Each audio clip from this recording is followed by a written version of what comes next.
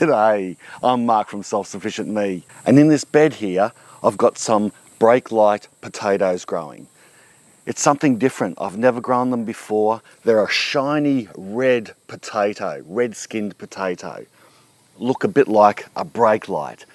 I thought, you know, that's an exciting potato to grow. I don't see them in the shops. Why not have a crack at it and see how they go? It's towards the end of the growing cycle now. The potato plants have started to die off and that's the sign that it's ready to harvest. So I'm going to get stuck into it, start harvesting, and when I harvest them, I'll talk about tips on how to grow them, particularly in a subtropical climate, and also several other things that I think will interest you. Let's hope that we get a good harvest out of this. All right, I'm going to use this pitchfork here. First of all, I think I'll just pull up. Oh, oh, there you go. Pulling them up and up comes a couple of potatoes. They are red. It's a glorious skin on it. So shiny and beautiful. That one there's a little bit eaten. Probably slug damage or something. But anyway, yeah, I can pull up the plants first, I think and I'll just start collecting them on the side here and then I can give them a wash after I've pulled them all up. Well, it's looking promising. I tell you what, just pull up a plant and up comes these potatoes. I'm getting excited. And yeah, I think the best way to harvest potatoes is with a pitchfork and just be careful you don't spear too many of them as you're going along, but dig down nice and deep and plough through the soil and see if you can pull them up that way. They're not a particularly big potato, I don't think, these brake lights, but uh, they'll be lovely. Pull back the mulch here. Oh, that's quite a large one. A little bit of slug damage on that one too. Now what's interesting is in this bed, this is the second season that I've grown potatoes in a row. Like normally with tomatoes and potatoes, I like to alternate the crops, grow them in the one position only once only, and then plant something else. In this one third of this raised garden bed, I had some Royal Blue and Kipfler potatoes last season, and they grew pretty well in first season wood chip. So the wood chip was quite fresh. I was surprised at how well the potatoes grew in that new wood chip. But this wood chip now is broken down, so it's, you know, I guess it's 18 months or two years old now, and you can hardly see it. Well, you can see remnants of the wood chip in here, but this, it's broken down and the soil's a lot richer, I can see, and, and darker. So I'm wondering if that will make a, a difference. And I'm interested that it's the second season growing potatoes in the one spot. Has it made much of a difference to harvest or anything like that? Lots of worms. Yeah, a couple there fairly close to the surface. That's a nice big one. And that's the other thing. A lot of these are pretty close to the surface simply because when I planted these brake lights, I really only planted them about wrist deep and I didn't hill them up. You can grow potatoes. A lot of people like to put them in a, in a drill, in like a trench, and then backfill and until they even mound up and and, and that could give a lot more potatoes and better growth. But in this case, I just wanted just to bury down, just to wrist deep and just see how that method of planting goes. All up I planted 500 grams per pack, so one kilogram of brake light potatoes. That was the seed potatoes that I planted and we'll see how much that one kilogram produces. That one there, she's looking a little hollow, starting to reshoot. And that brings me to the next point that I wanted to talk about, particularly in warmer climates. I planted these at the end of winter, which is still fairly warm, starting to get fairly warm in a subtropical climate coming into spring. Now, if you leave these in the ground too long, that's why I'm harvesting when they're not quite dead yet. In a temperate climate or cooler climates, you can afford to leave the plants die off completely and even be completely gone. And those potatoes will still remain in the ground and they won't reshoot.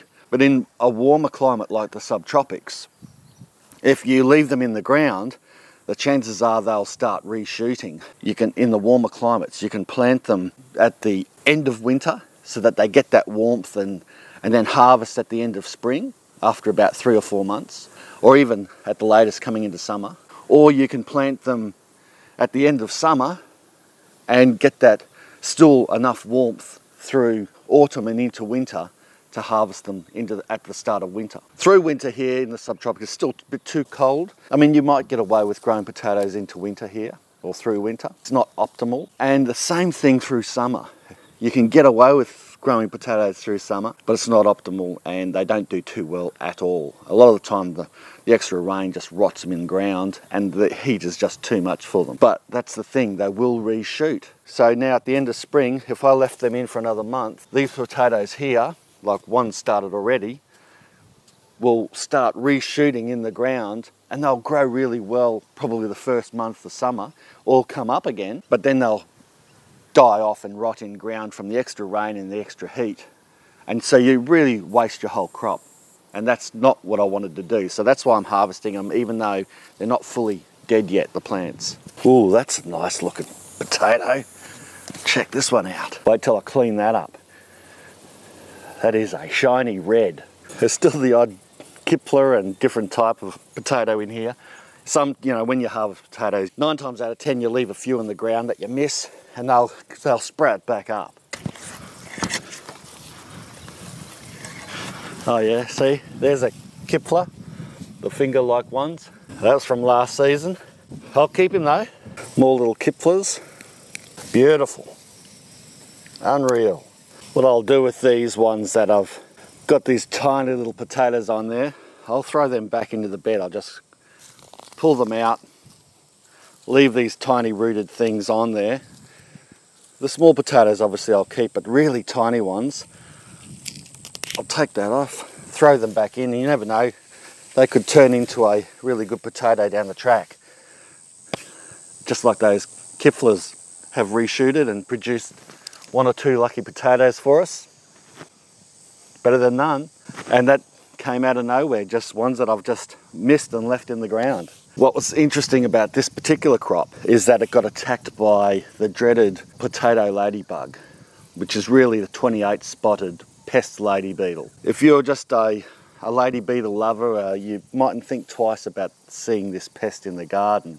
You mightn't even think it's a pest, but I can tell you it certainly is. Even though it doesn't necessarily have to be too destructive, if you just let it run rife, it, it will kill your crop off. Actually, I can see one right here, right now, on a, one of the newer stalks. So these spotted lady beetles, they're not too bad in small numbers, but if you get too many of them, what they do is they eat the leaves and then they'll collapse the plant because the plant can't get any energy from the sun with its leaves obviously eaten away. The other thing it also does is you can pick the adults off quite easily, like I've just got that one there squash it, throw it, kill it, or drown it, whatever you want to do. So you can organically control it. But if you leave the adults on there, because they say there's only one or two per plant, which is fine, you've got to monitor it and make sure they don't lay eggs and then the larvae hatching out can be even more destructive than the adults.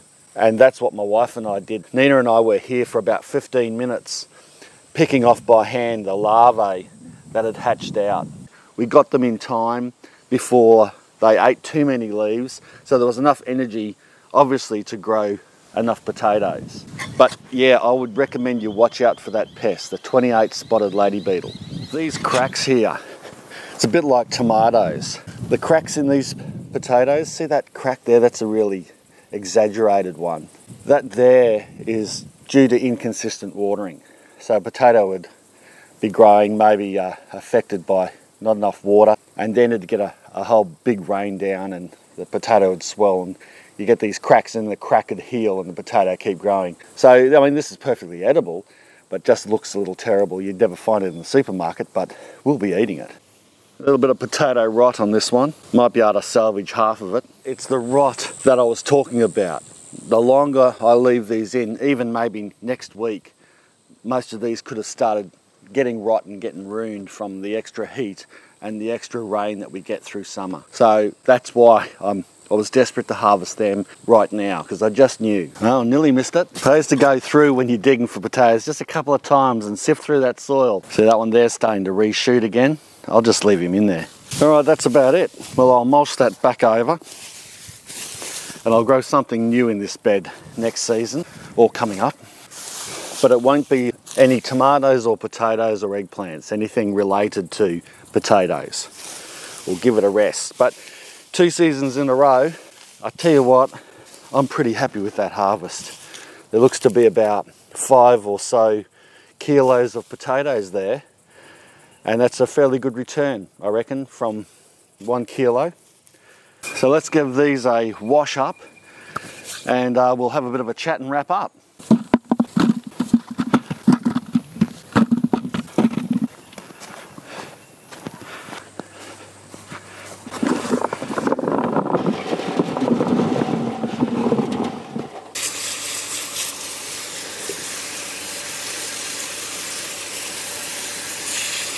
All right, well I'm really happy with that. Nice and cleaned up. I'll give them a secondary clean inside of course, but they're clean enough now to take inside and put in the pantry. Nice dark place. That's fantastic. I'm really wrapped with that harvest and I'm pretty happy that I got a couple of extra Kipflers too from last season.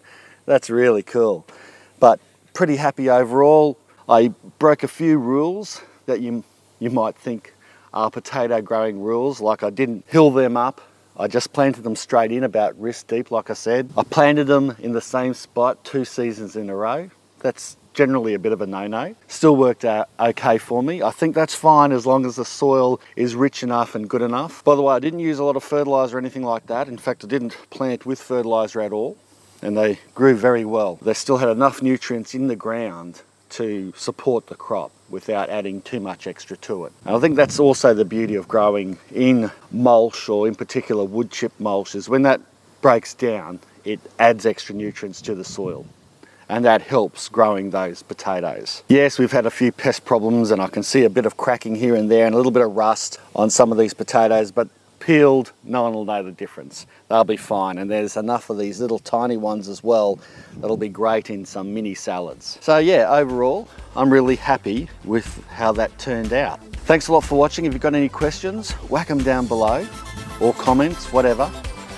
Don't forget to subscribe. Bye for now.